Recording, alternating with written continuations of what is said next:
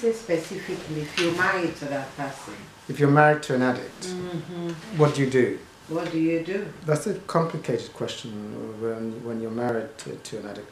But it's a very good question. Let's say you're married uh, to an addict. This is what I'd say. Um, there is a 12 step fellowship called Al Anon, hmm uh, which is the exact fellowship for people whose, uh, if you've got a, a husband or, or a partner or a parent or a Mm. friend who is an addict, uh, this fellowship called Al Anon, I would definitely encourage you to go there. And they have this principle of doing, you'll get a sponsor, take you through the 12 steps, and, um, and you'll get a lot of spiritual connection, and you'll realize that you're powerless to change another person. Uh, you can't, there's nothing you can do to control or change another person. As, you, as your own spiritual vibration changes as you do the spiritual work, you'll start to get not only spiritual guidance from your sponsor, uh, like a mentor, but you'll also get your own your own spiritual intuition will start to speak to you as to what is the right thing to do in this situation. hmm Um, generally speaking, for me, as a general rule of thumb, if a person is an active addiction and they don't do for for addiction, the spirit it's not a little bit of spiritual work. Like reading a book doesn't stop addiction. Like here, just read this nice book on spirituality. It won't stop addiction. It requires um, very very deep spiritual work, and usually the support of a, of a spiritual 12 step group and a, and a mentor they call a sponsor.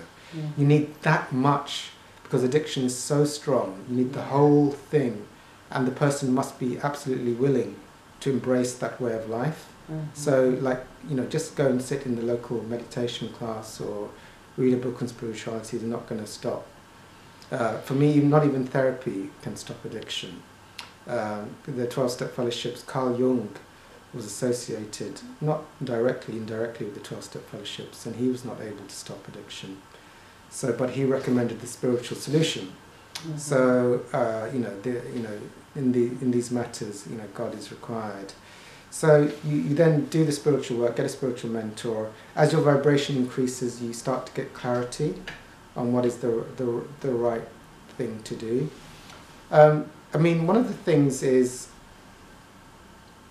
Um, I mean, I would definitely give a few things a try. I mean, if I know, like, if I had a girlfriend and she was an alcoholic, Mm. hopefully, I, you know, I, um, if I did have that, for example, I might t- say to her, look, um, maybe you should try Alcoholics Anonymous, or I can take you there. But they have to be willing, you know. you can never yeah. force a person to do something they don't want to do. Mhm. So if they're willing, that can be a very good thing. Mm. Say, oh yeah, well, I'll give it a try, and then if they join the fellowship, then I'll be quite happy. But if they say, uh, you know, if they say, look, I'm going to buy a self-help book, I'll buy one self-help book, and that just that'll be Mhm. enough. Uh, you know, I, I, I, you know, I, I doubt that would be um, enough. So Mm. yeah, that, that's what I would say. It's very complicated when you're married, but doing the spiritual, definitely join Al-Anon and do a lot of spiritual work around it. The, the core issue we learn in all addictions is step one, I'm powerless over my addiction. So in step one in um, AA, I'm powerless, I'm powerless to stop my behavior in picking up alcohol. Mhm. You know, I have not the power or the willpower or my mental intelligence is not enough. Mhm. So in Al Anon, I'm powerless to stop my alcoholic girlfriend from changing. I Mhm. cannot, like, if I tell her off, or if I give her an ultimatum or something, or I throw all the vodka down the toilet, Mm-hmm. you know, that is not, I'm powerless. That, that behavior will not stop her Mhm. from stopping alcohol. So I have to accept that I cannot change her Yes. uh, or if I'm if I have an addiction to alcohol, I, I have to admit I'm powerless that I cannot stop myself from picking up alcohol. So then I have to get a connection to power, which is to God, yes. you know, and then I have to work the twelve steps and get that connection. And then as I get that power, because I'm not trying to get power from the outside world. Mhm. So in in alcohol, alcoholics, they try to get their comfort from alcohol. But power and comfort does not come from alcohol. It leads to destruction. Yes. Um, and in a in a relationship where you're unhappy with a partner who's an addict, um, you believe the power comes in the partner changing and you changing the partner. But actually, the power comes in surrendering the idea that you can change them or you have the power to change them, and then getting that peace from God. Once you have the peace from God, then the clarity comes in what's and the power comes into. See, once you what what should be done in that relationship. Also with alcoholics, once you have that connection to God and you no longer need the alcohol, then you, you no longer do anything. Once you have the power, you no longer do the destructive thing that you're trying to do and control or change, Mhm. and so you can let go. Anything that is good for you after you've let go, you keep. But any, after you've let go and you have the peace within, you cannot. It's very difficult to keep with something that is destructive because you're now at a vibration which is which is like peaceful, loving, and kind. So you Mhm. anything that matches that vibration, people, places, and behaviors, you tend to want to keep.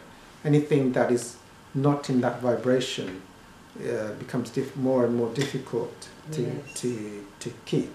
Mhm. So hence, but definitely Al-Anon is a whole, you know, Al-Anon is a, a group I would go to because you have people there who've had relationships which are with addicts and they've got the solution and just by meeting these people you can there's so much um, support and hope and there's also you can see your own uh, you can see that they had a difficult life and they did the program and now they have a very happy life Mhm. and you, you're attracted to get what they have uh, on offer.